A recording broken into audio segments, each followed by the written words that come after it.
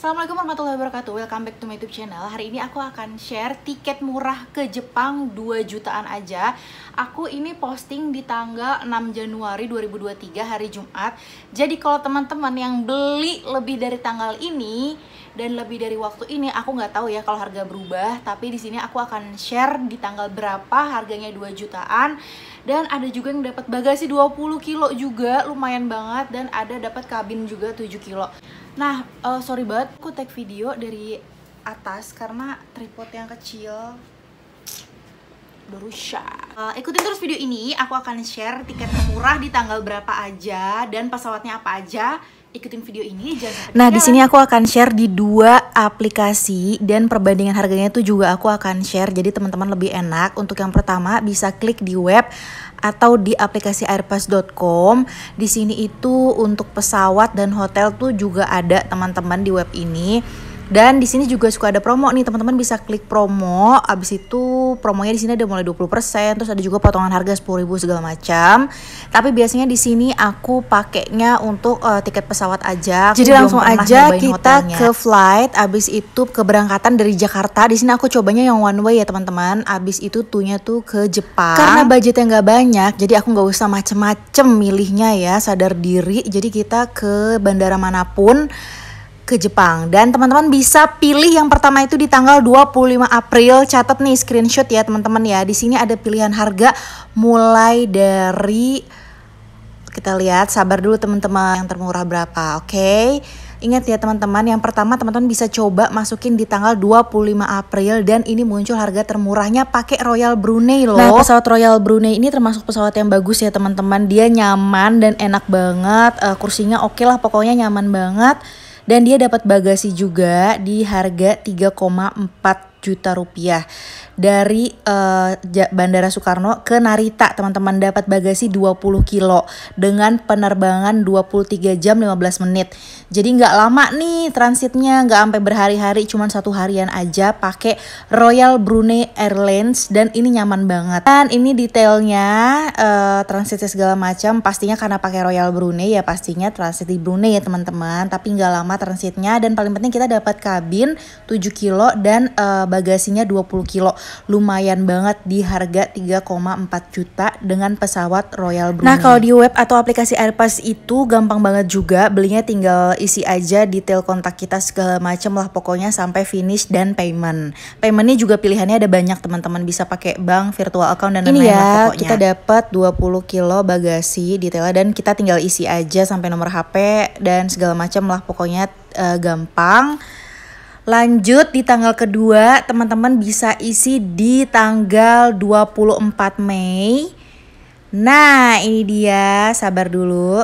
Nih muncul di tiket termurah di tanggal 24 Mei. Catat dan screenshot sekarang di 2,5 juta aja dan Royal Brunei di 4 jutaan. Jadi di 2,5 juta ini pakai AirAsia uh, Multi Airlines. Jadi dia ada transitnya satu hari ini teman-teman.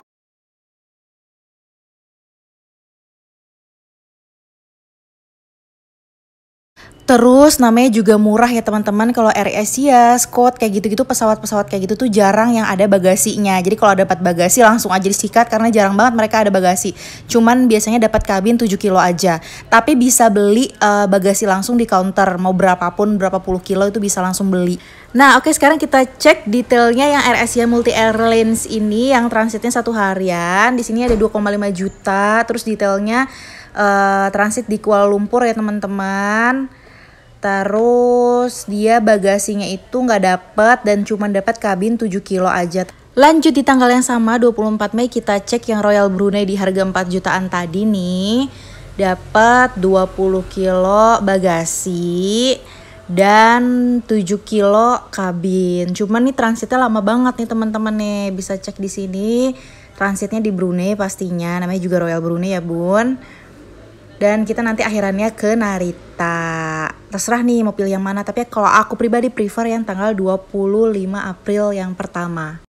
Lanjut rekomendasi tanggal ketiga, teman-teman bisa masukin di Airpace itu tanggal 1 Agustus 2023. Di sini bakal muncul termurahnya ada di 2,1 juta aja. Parah banget sih.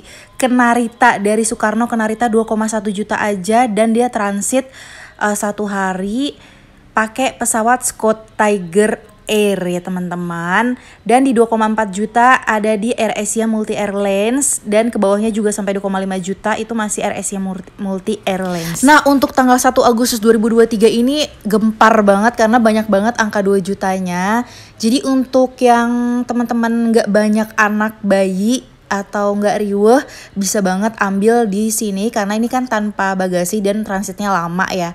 Jadi oke-oke aja kalau misalnya kita single terus habis itu kita emang mau liburan sendiri ya karena aku waktu juga. sebelum nikah tuh sering banget jalan-jalan sendirian aja paling sama teman berdua bertiga kayak uh, segeng gitu. Kita pasti ambil uh, tiket di web Airpass ini yang paling murah. Karena kita kan uh, oke-oke aja fine-fine aja gitu. Yang pakai uh, kursi yang nggak senyaman itu banget juga ya nggak apa-apa nggak masalah. Yang penting bisa murah kita terbang uh, holiday. Transitnya ini juga lama. Biasanya dulu tuh pas aku belum nikah tuh biasanya kita tidurnya itu di bandara pas lagi transit atau jalan-jalan aja keliling. Next rekomendasi tanggal ketiga dari rumah Alka ada di tanggal 15 Agustus. Teman-teman bisa masukin tanggal di Airpace itu tanggal 15 Agustus dan akan muncul harga termurah pakai Air Asia Multi Airlines di uh, eh, 2,4 juta. Dia dari Soekarno ke Haneda semuanya ya. Dan untuk pilihan jamnya ada banyak ya teman-teman mulai dari pagi sampai malam di jam 19 dan ada Royal Brunei juga mulai dari jam 6 pagi dan di harganya 3,4 juta. Lumayan murah juga sih. Ini pilihan termurahnya dan jangan lupa perhatiin transitnya ya. Ada yang satu hari, ada yang 13 jam di tanggal 15 Agustus 2023 ya teman-teman. Ini yang Air Asia pesawat Scott ingat sekali lagi nggak ada dapat uh, bagasi ya biasanya cuman kabin 7 kilo aja tapi semua itu sangat bisa diorder nambah bagasi di loket langsung. Kalau dulu biasanya aku ordernya tuh di pulang karena pulang bawa gembolan jadi nambah bagasi di pulang. Nah, kita klik salah satu aja untuk detail Asia di 2,4 juta. Nah, di sini udah kelihatan ya teman. Dapat kabin aja 7 kilo. Terus kita nyampe Haneda itu uh, jam 22 malam di harga 2,4 juta aja parah sih. Next untuk aplikasi kedua aku mau kasih tahu teman-teman di tanggal yang sama kita pakai Traveloka perbandingannya masukin yang pertama itu rekomendasi di 25 April dari Jakarta ke Tokyo di sini mulai harga termurahnya di nominal 3,3 juta dengan pesawat Royal Brunei Airlines.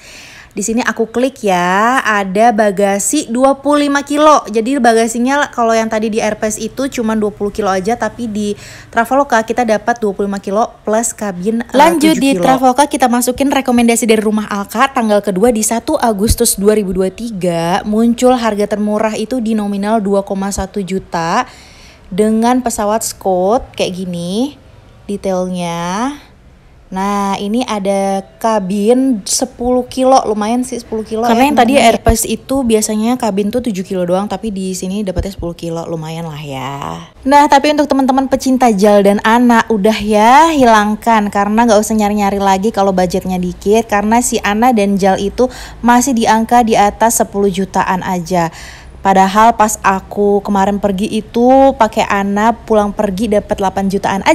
Dan di 1 Agustus Ana itu mulai dari 15 juta. Nah, untuk lebih gampang ini aku tulis perbandingannya sebelah-sebelahan biar teman-teman lebih gampang mau pakai Traveloka atau Airpass di tanggal yang sama. Oke, tanggal pertama rekomendasi rumah Alka di 25 April untuk Traveloka yang biru dan Airpass itu yang merah ya teman-teman sebelah kanan di tanggal 25 April untuk Traveloka keberangkatan dengan Royal Brunei ada di jam 6 pagi nominalnya 3,3 juta. Sedangkan di Airpass itu di jam 6 pagi Royal Brunei nominalnya 3,4 juta dua-duanya sama-sama Soekarno ke Narita. Dan di Airpass itu ada bagasi 20 kilo sedangkan di uh, Traveloka dapat bagasi 25 kilo. Jadi kalau aku pribadi lebih prefer pakai uh, Traveloka untuk keberangkatan 25 April ya pakai Royal Brunei. Karena harganya sebelum promo itu itu beda 100 ribuan ya 3,3 dan 3,4 dan bagasinya juga beda 5 kilo lumayan. Lanjut, rekomendasi tanggal kedua ada di tanggal 24 Mei di Traveloka sebelah kiri dan Airpass sebelah kanan. Di Traveloka itu harga termurahnya pakai pesawat Scoot mulai dari 4,1 juta dari Soekarno ke Narita dan ada satu kali transit. Untuk di Airpass itu yang termurah itu 2,5 juta aja pakai Air Asia Multi Airlines. Dua-duanya itu sama-sama nggak dapet bagasi teman-teman. Jadi menurut aku kalau keberangkatan 24 Mei 2023 mendingan pakai yang di web atau aplikasi Airpass aja karena 2,5 juta bun lumayan banget kan. Dan di Airpass juga tersedia Royal Brunei di jam 1 siang dari Soekarno ke Narita dengan dapat kabin 7 kilo dan uh, bagasi 20 kilo di harga 4 jutaan aja. Dan di Traveloka nggak tersedia ya yang Royal Brunei itu, cuman ada di Airpass aja. Oke lanjut rekomendasi tanggal ketiga bisa masukin 1 Agustus 2023 di Traveloka paling murah dengan pesawat Scoot itu di jam 19 ada di 2,1 juta. Dan di Airbus itu pakai Scott Tiger Air juga di 2,1 juta ini sama pesawatnya sama-sama harganya juga dan sama-sama nggak dapat bagasi juga terserah ya. Jadi mau pakai yang Airbus atau yang Traveloka. Kemudian mulai lagi ada Royal Brunei di 3,3 juta dan kalau di Airbus itu Royal Brunei di 3,4 juta. Jadi kalau mau pakai Royal Brunei ya beli aja di Traveloka karena lebih murah 100 ribuan Lanjut rekomendasi tanggal terakhir masukin 15 Agustus 2023. Ini dia perbandingan harganya dari Traveloka cuman tersedia yang paling murah tuh Royal Brunei di 3,8 juta jam 6 pagi dari Soekarno ke Narita dengan satu kali transit. Sedangkan 15 Agustus di Airpass itu Royal Brunei itu uh, lebih mahal mungkin ya ada di bawah-bawah tapi dia paling murah ada di Air Asia Multi Airlines di 2,4 juta yang pasti uh, nggak uh, pakai bagasi cuman ada kabin 7 kiloan aja di sini ada 2,4 juta 2,4 juta 2,5 juta tapi ini yang nggak uh, pakai bagasi. Jadi ya, kalau mau ke Jepang 15 Agustus better ambil di Traveloka pakai Royal Brunei karena 3,8 juta aja udah dapat kabin 7 7 kilo atau 10 kilo dan bagasi 25 kilo. Oh ya untuk teman-teman yang nanya aman gak sih beli tiket di airpass.com? Nah aku nggak tahu aman apa enggak, tapi selama ini aku order dari sebelum nikah, aku selalu pakai airpass karena nyari yang termurah. Itu selalu aman pulang dan pergi, eh, nggak uh, ada apa-apa, nggak ada masalah satu syarat yang aku bisa kasih tahu ke teman-teman setelah beli tiket itu selalu di make sure telepon ke kantor untuk make sure uh, atas nama penerbangan kita di tanggal dan jamnya. Jadi jangan sampai uh, udah deket baru kita make sure karena takut ada apa-apa. Itu aja sih kalau saran dari aku. Sekian rekomendasi tanggal dan tiket termurah dari Rumah Alka. Jangan lupa di like dan di share video ini biar banyak teman-teman yang tahu. Jadi lebih bermanfaat lagi videonya dan dapat pahala juga saling sharing teman-teman. Dan untuk informasi tentang rumah dan tips-tips tentang rumah aku udah share Teman-teman bisa follow Instagram Rumah Alka dan TikTok Rumah Alka. Dan jangan lupa support aku di Youtube Alka Home. Terima kasih banyak yang udah nonton. Sampai ketemu di video selanjutnya